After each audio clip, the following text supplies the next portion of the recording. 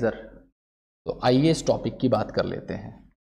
Topic का नाम है माइक्रोब्स एज बायो फर्टिलाइज़र कि हम माइक्रो ऑर्गेनिज्म का बायो फर्टिलाइज़र के तौर पे कैसे इस्तेमाल कर सकते हैं? तो ध्यान से समझिएगा, यहाँ पे सबसे पहले एक वर्ड मैं आपके सामने लिख रहा हूँ फर्टिलाइज़र फर्टिलाइज़र देखिए फर्टिलाइज़र बेसिकली एग्रीकल्चर में इसलिए यूज़ किया जाता है कि अगर किसी न्यूट्रिएंट की डेफिशिएंसी हो रही हो तो उसे फुलफिल करने के लिए हम फर्टिलाइज़र्स का इस्तेमाल कर सकते हैं। मतलब हम फर्टिलाइज़र्स को किस लिए यूज़ करते हैं? एक न्यूट्रिएंट सोर्स के तौर पे यूज़ करते हैं। और क्या कर सकते हैं?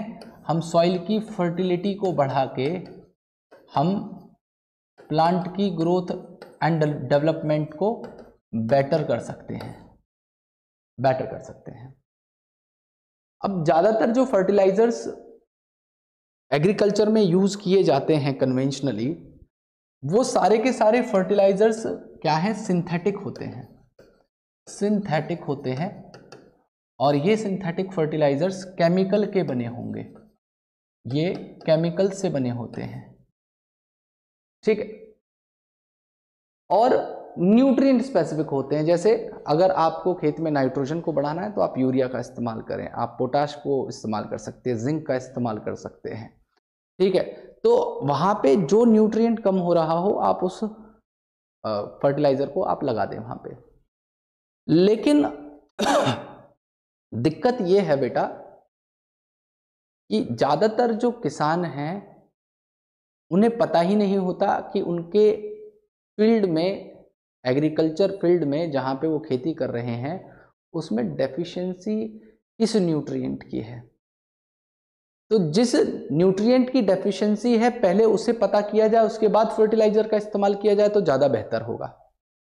लेकिन वो ऐसा नहीं करते। वो ना सॉइल टेस्ट कराते, वो क्या है, एक भेड़ चाल है। अगर बराबर वाला, खेत वाला नाइट्रोजन लगा रहा है यूरिया लगा रहा है तो दूसरा फार्मर भी देखेगा, बोला, ठीक है भाई, मैं भी काम कर लेता हूँ, मैं भी ले आता हूँ, एक दो जो है बोरी, और मैं भी जो है यूरिया लगा देता हूँ खेतों में। तो ऐसी कंडीशन में किसी न्यूट्रिएंट की कमी ना हो और उस न्यूट्रिएंट को ज़बरदस्ती उसमें डाल दिया जाए तो क्या होगा? प्लांट के अंदर टॉक्सिसिटी हो जाएगी, जिससे प्लांट की ग्रोथ अच्छी नहीं होगी। अब गलती मैं ये कहूँ, किसानों की भी पूरी नहीं है। क्यों पूरी नहीं है? कि बेटा, जब हमारे देश में ग्रीन रिवोल्यूशन नहीं हुआ था तो उससे पहले हमारे देश में जो खेतों की पैदावार थी, वो बहुत कम थी। जब पेस्टिसाइड का और फर्टिलाइजर्स का और इन केमिकल सिंथेटिक प्रोडक्ट का चलन आया तो ड्रास्टिकली ईल्ड में बहुत ज़्यादा इजाफा हुआ। मतलब आप इस बात को ऐसे समझ सकते हैं कि आप खूब मेहनत कर रहे हैं, आपके नंबर नहीं आ रहे, लेकिन कोई एक गलत तरीका जो है, वो आपको बता दिया गया कि आप इसे शॉर्ट टर्म यूज़ करिए आप अच्छे नंबर ला सकते हो। लेकिन आप उसे हमेशा यूज़ करने लग जाएँ। अब ये जानते हुए भी कि वो गलत है। लेकिन अब आपको क्या लत लग चुकी है कि नहीं भाई, अगर इससे करके ऐसे नंबर आ रहे हैं तो क्यों ना करा जाए? अब वो ही बात हो गई फार्मर्स के साथ भी, कि जब रिवोल्यूशन हुई तो इन्हें बहुत फ़ायदा मिला। तो सबकॉन्शियसली ये बात उनके मन में घर कर गई कि भाई, बिना इन फर्टिलाइजर्स के या केमिकल पेस्टिसाइड्स के या केमिकल खाद के हम खेती नहीं कर सकते। अब उससे क्या हुआ कि एक तो प्रोलॉन्ग अगर आप उन फर्टिलाइजर्स को खेत में ज़्यादा इस्तेमाल करोगे तो टॉक्सिसिटी हो जाएगी प्लांट की ग्रोथ अच्छी नहीं होगी। पैदावार आपको अच्छी नहीं मिलेगी। और चांसेस ये बनेंगे कि वो जो ज़मीन है, वो पॉल्यूट हो जाएगी, बीमार हो जाएगी और बैरन भी हो सकती है। वो अपनी फर्टिलिटी को लूज कर सकती है। तो ऐसी कंडीशन में क्या अल्टरनेट निकाला जा सकता है? मैंने क्या बोला कि जो सिंथेटिक केमिकल फर्टिलाइज़र हैं, इनका क्या क्या नुकसान है? इनसे एक तो प्लांट के अंदर टॉक्सिसिटी होती है। अब ये नहीं कह रहा हूँ कि टॉक्सिसिटी ज़बरदस्ती ऐसे ही हो जाएगी। अगर उस खेत में उस न्यूट्रिएंट की कमी है और आपने डाली तो फुलफिल हो गई। लेकिन कमी ही नहीं थी, आपको पता ही नहीं है। आप साइंटिफिक तरीके से खेती नहीं कर रहे। तो उस टाइम पे अगर आप ज़बरदस्ती उस न्यूट्रिएंट को उसके अंदर उड़े ले जा रहे हैं तो वहाँ पे टॉक्सिसिटी होगी भाई प्लांट को। दूसरा यहाँ पे क्या होगा? दूसरा यहाँ पे ये होगा कि वो ज़मीन या वो सॉइल फर्टाइल नहीं रहेगी, बंजर ज़मीन हो जाएगी बेटा वो। आप ये समझिए कि बड़े इसके लॉन्ग टर्म बड़े गंदे इफेक्ट्स हैं। तो इसका अल्टरनेटिव क्या हो सकता है? तो इसका अल्टरनेटिव ये है कि या तो आप भाई मैन्योर का इस्तेमाल करें। मतलब काओ या बफेलो डंग है, उसको आप बहुत लॉन्ग टर्म तक डिकम्पोज करवाएँ या वर्मी कंपोस्टिंग करवाएँ और उसको आप खेत में डालें। तो वहाँ पे प्लांट जो प्लांट को ग्रोथ के लिए न्यूट्रिएंट चाहिए, वहाँ से मिल जाएँगे उनको, उस डिकम्पोज प्रोडक्ट से, जिसे ह्यूमस कहते हैं। दूसरा तरीका है कि हम उन माइक्रो ऑर्गेनिज्म को ही क्यों ना इस्तेमाल कर लें, जो सॉइल के अंदर फर्टिलिटी को बढ़ा दें।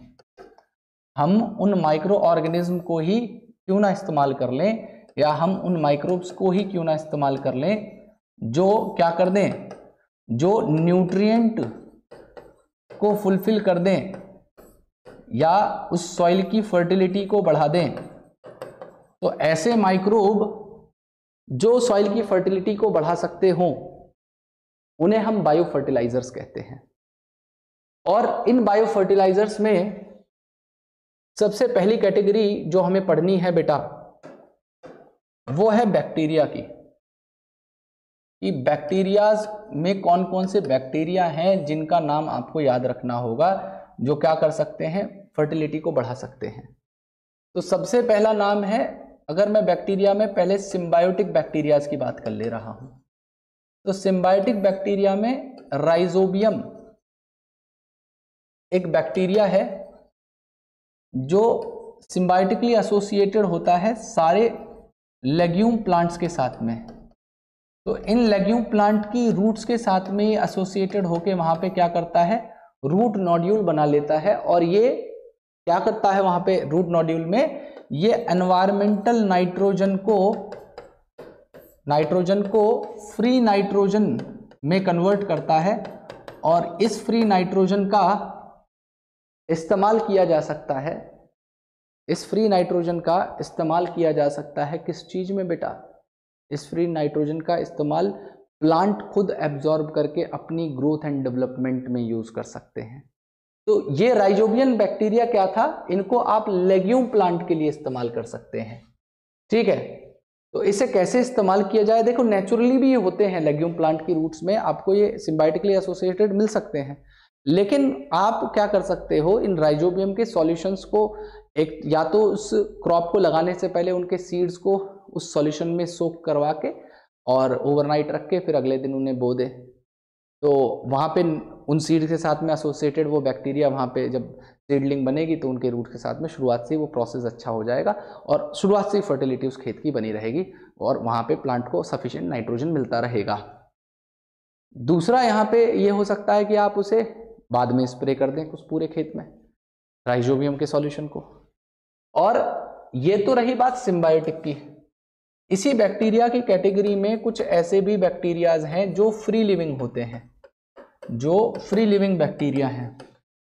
और यहाँ पे फ्री लिविंग बैक्टीरिया में आपको नाम याद रखना है दो का। एक है एजोटोबैक्टर और दूसरा होता है एजोस्पाइरिलम एक होता है एजोस्पाइरिलम ठीक है, एजोटोबैक्टर और एजोस्पाइरिलम ये दो बैक्टीरियाज हैं फ्री लिविंग बैक्टीरियाज हैं, जिनको आप यूज़ कर सकते हो।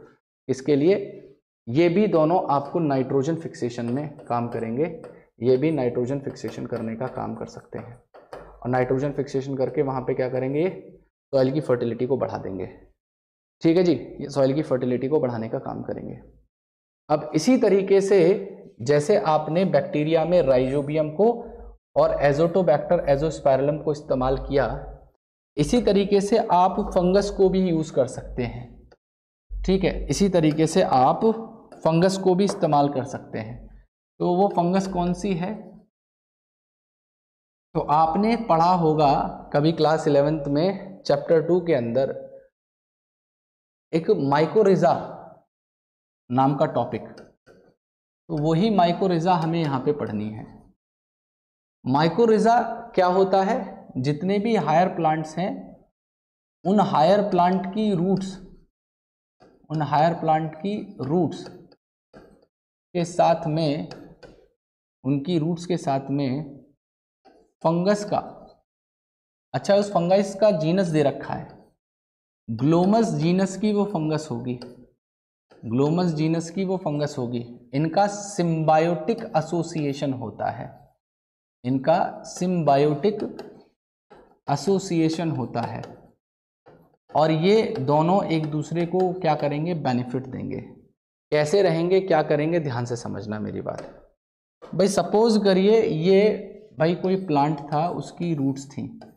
अब ये रूट, ठीक है, यहाँ पे ठीक ठाक थी। लेकिन यहाँ पे क्या किया? इस माइकोरिजा या फंगस एसोसिएशन ने इन रूट्स के साथ में मिलके इस तरीके के ये हाइफल नेटवर्क बना दिए। क्या बन गई? ये हाइफीज बन गई। और ये हाइफीज ने एक्ट करना शुरू कर दिया एज रूट हेयर मैंने क्या बोला? ये तो प्लांट की नेचुरल रूट्स थी। और ये जो थी, ये हाइफी थी। इसकी फंगस की है। आप जानते हो ना? Thin cylinder thread structure hyphae कुछ हाइफी मिलके माइसिलियम बनाते हैं। तो वही हाइफी का नेटवर्क है ये, जो रूट्स के साथ में बन गया। और ये हाइफी अब किस तरीके से एक्ट करने लग रही हैं? ये रूट हेयर के तौर पे एक्ट करने लग रही हैं। तो अब आप एक बात बताइए, बिना हाइफी के रूट का सरफेस एरिया कितना था या कितना एब्जॉर्प्शन कर सकती थी? और अब देखिए कितना बड़ा एक नेटवर्क सा बन गया, जिससे ये ज़्यादा से ज़्यादा न्यूट्रिएंट्स को एब्जॉर्ब कर पाएँगी। तो एक तो एक तो ये जो फंगस की हाइफी थी इसके साथ में, वो यहाँ पे फॉस्फोरस का एब्जॉर्प्शन बहुत ज़्यादा करवाती हैं। इसका फॉस्फोरस का एब्जॉर्प्शन यहाँ पे बहुत ज़्यादा करवाती हैं। ठीक है जी? फॉस्फोरस बहुत ज़्यादा अच्छे से एब्जॉर्ब करवा पाती हैं। तो it help in it help in absorption absorption of phosphorus to the plant दूसरा ये क्या काम कर सकती हैं? जो फंजाई हैं एक तो इन्होंने फॉस्फोरस का एब्जॉर्प्शन बढ़ा दिया। दूसरा, ये काम क्या करेंगे बेटा? ये इन प्लांट्स को टॉलरेंट बनाती हैं सेलिनिटी और ड्रॉट के लिए। मतलब आप सपोज़ करिए कहीं पे पानी की कमी है ज़मीन में। तो ज़मीन में अगर पानी की कमी होगी तो ऐसी कंडीशन में क्या होता है बेटा? जिनकी रूट हेयर ज़्यादा डीपर होते हैं, वहाँ पे वो थोड़ी बहुत अमाउंट में वाटर को एब्जॉर्ब कर सकते हैं। तो ये क्या करेंगे? उनको ड्रॉट वाली कंडीशन में भी, पानी की कमी वाली जगह भी उस प्लांट को जो है ज़िंदा रखने में उनकी मदद करते हैं। ठीक है तो मैंने पहला बताया कि पहला तो फंगस ने क्या किया? इस प्लांट के लिए फंजाई ने सबसे पहला काम किया एब्जॉर्ब करवाया एब्जॉर्ब करवाया फॉस्फोरस को। फॉस्फोरस को दूसरी चीज़ यहाँ पे क्या करवाई गई बेटा? दूसरी चीज़ यहाँ पे क्या करवाई गई? इसने टॉलरेंट बना दिया। इसने टॉलरेंट बना दिया। ठीक है? इस चीज़ के लिए ड्रॉट के लिए और सेलिनिटी के लिए। और सेलिनिटी के लिए। और तीसरा काम क्या किया? भाई रूट्स के ऊपर आके। ऐसा भी तो हो सकता है कि भाई कोई बैक्टीरिया या रूट पैथोजन अटैक करे तो ये क्या कर सकता है? उस प्लांट को प्रोटेक्ट कर सकता है इससे, रूट पैथोजन से। ये रूट पैथोजन से भी प्रोटेक्ट कर सकता है उसे। ठीक है, रूट रूट पैथोजन से भी उस प्लांट को प्रोटेक्ट करने का काम फंजाई कर सकती है। बस इंटर्न उसको फंजाई को इस प्लांट से क्या चाहिए? भाई इंटर्न बस इसको चाहिए फ़ूड कार्बोहाइड्रेट रिच फ़ूड इसे मिल जाता है और कार्बोहाइड्रेट रिच फ़ूड लेके तीन काम कर देता है. इस प्लांट के लिए फॉस्फोरस का एब्जॉर्प्शन करना ड्रॉट एंड सॉलिनिटी से टॉलरेंट बना देना और उसको रूट पैथोजन से बचा लेना. ठीक है, ये काम करे इसने माइक्रोरेजा ने. तो माइक्रोरेजा किस तरीके से काम करेगा वो भी मैंने आपको बता दिया. तो इनका भी आप इस्तेमाल कर सकते हो प्लांट्स को. प्लांट्स की अच्छी ग्रोथ के लिए, अच्छी पैदावार के लिए। तीसरा तरीका है, पहले हमने बात करी थी बैक्टीरिया बैक्टीरिया में हमने नाम याद किए थे राइजोबियम एजोटोबैक्टर और एजोस्पायरलम माइकोरेजा में मैंने बताया, कुछ फंगस थी जो ग्लोमस जीनस से बिलोंग करती थी। उन्होंने किसके साथ में एसोसिएशन बनाया? प्लांट्स की रूट्स के साथ में एसोसिएशन बनाया, जिस एसोसिएशन को हमने माइकोरेजा कह दिया। अब तीसरा यहाँ पे है, तीसरा यहाँ पे है बेटा साइनोबैक्टीरिया साइनोबैक्टीरिया और साइनोबैक्टीरिया के अंदर हमें किस किस को पढ़ना है? तो साइनोबैक्टीरिया में सबसे पहले हम बात कर लेते हैं कि भाई सिम्बायोटिक कौन कौन सी हैं? सिम्बायोसिस में कौन कौन सी है? तो सिम्बायोसिस में एक ही नाम याद रखना है। एनाबीना एक साइनोबैक्टीरिया ब्लू ग्रीन एल्गी है। वो अजोला नाम के प्लांट के अंदर आपको मिलती है। एनाबीना इन अजोला एक एग्ज़ाम्पल है इसका। दूसरा, जो फ्री लिविंग फॉर्म में आपको मिल सकती हैं साइनोबैक्टीरिया जो आपको फ्री लिविंग मिलेंगे। उसमें नाम याद रखने हैं बेटा, जैसे ऑसिलेटोरिया ऑसिलेटोरिया और नॉस्टॉक और ब्लू ग्रीन अलगा आप इनको कैसे इस्तेमाल कर सकते हो? तो बेटा, जैसे कोई पैडी फ़ील्ड है मतलब कहीं पे धान की खेती हो रही है तो उस धान की खेती में आपने सुना होगा कि भाई, जब भी खेती, सुना क्या देखा भी होगा कि जहाँ पे भी पैडी फ़ील्ड होगा, वहाँ पे पानी का सबसे ज़्यादा इस्तेमाल किया जाता है। इसका वाटर का सबसे ज़्यादा इस्तेमाल किया जाता है। उस खेत में अक्सर पानी भरा रहता है बेटा। ठीक है? तो जहाँ पे आपको वाटर मिलेगा वहाँ पे इन साइनोबैक्टीरियाज की ग्रोथ बहुत अच्छी हो सकती है। तो मैं आपको दिखाता हूँ कि किस तरीके से ये काम करेगा। ये किस तरीके से बेटा काम करेगा। ठीक है? ध्यान से समझिएगा मेरी बात आप। ये देखिए। ये खेत है जिसमें पैडी भी लगी हुई है और पानी भरा हुआ था। उसमें ये ग्रीन ग्रीन सी जो आपको दिख रही हो वो क्या है? वो साइनोबैक्टीरिया है ब्लू ग्रीन अलगा है। तो ये क्या करेगी? जब पानी यहाँ से सूख जाएगा, ऐसा तो नहीं है कि प्रोलॉन्ग पूरे साल भर भरा रहेगा यहाँ पानी, जब पानी सूखेगा तो ये सब एलगी नीचे बैठ जाएगी, कहाँ पे? ज़मीन पे।